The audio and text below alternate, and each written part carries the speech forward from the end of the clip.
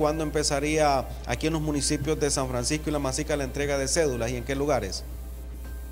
Sí, buenos días. Eh, ahorita estamos haciendo unas pruebas porque el software del teléfono me está fallando. La idea es comenzar hoy mismo.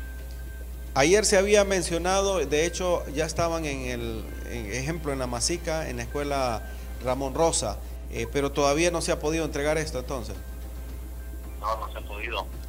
Nasser, ¿hay una fecha tentativa que se pueda entregar? Eh, pregunto porque hay muchos jóvenes que sin esa cédula no va a poder ejercer el sufragio debido a que no tienen la anterior, la, la vieja, como decimos nosotros.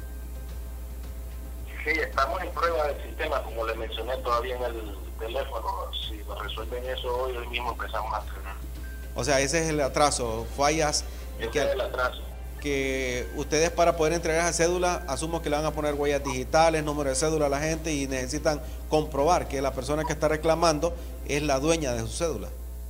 Correctamente. El problema que tenemos es que cuando el teléfono queremos meternos al sistema o captar la, fotografía, no nos, saca. el- Ese es el problema que tenemos, por eso no la podemos entregar.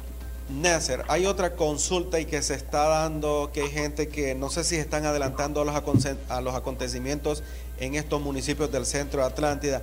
Y es que dicen, yo voto, por ejemplo, mi persona vota en la escuela Francisco Morazán de Santana, pero mi cédula me toca ir a recoger a la comunidad de la frutera.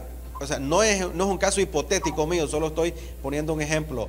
Eh, estos se están adelantando a los acontecimientos, eh, según tengo entendido, porque hasta no comprobar dónde, dónde está su cédula no pueden hacer estos temas, solo porque escuchan en redes sociales eso. Hay un link que se anda divulgando que ahí ustedes pueden verificar dónde es su centro de, de entrega de DNI. Ahí pueden consultar.